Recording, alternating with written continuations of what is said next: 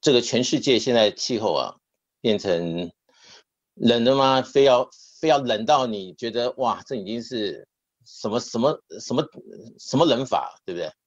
热的时候嘛，让你觉得热到不行，已经变成两极化哦。那么你看到这个世界啊，也是两极化了哦。好人一级，坏人一级，对吧？你是哪一级啊？嗯，这个答案应该不会答错，是不是啊？哦，我们是好人那一集，是不是？啊那么前两天啊，我们台湾的学员哦，抛一个影片给我啊，在 Line，他说：“导师你还好吗？我看了写那么紧张。”我说：“哇，什么事啊？”打开影片一看，哎呀，美国哦，不知道哪一周啊，这个什么游行啊，什么组织游行。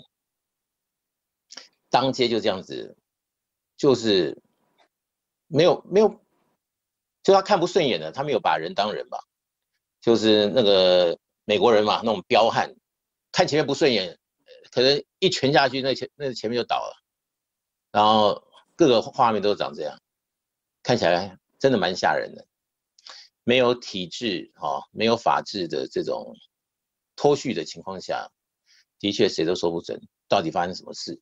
啊，但是那天我看了，我也觉得，如果我没有在美国的话，我也觉得，哇，这美国怎么长这样，那么可怕，是不是？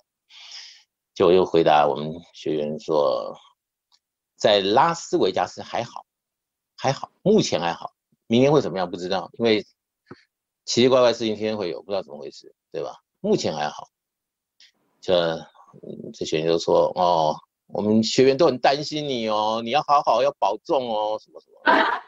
对吧？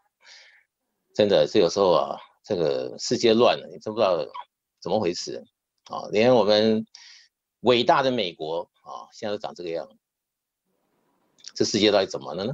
是不是？但你有没有发现一点？川普上来四年，这四年的最大政绩就是全世界鸡犬不宁，有没有？啊，不管是美国国内。还是全世界各地鸡犬不宁，对吧？对，所以这个不是世界之福，所以选不上也罢，是不是？选上也没好事，对不对？选到底选哪个总统好呢？不知道，但是选川普可能世界末日快一点，是不是？蹦蹦，全世界就就撒哪哪了。你说选拜登会有什么隐忧？那至少再看嘛，对不对？所以你看人呐，四年就造了他，好，四辈子还不还的完还不知道，对吧？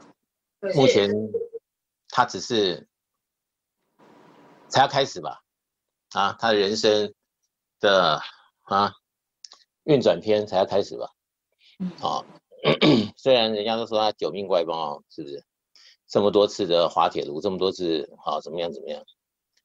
那也是哈，人的各方面啊，运啊，各方面哦。那最后这一这一这一招灵不灵呢？不知道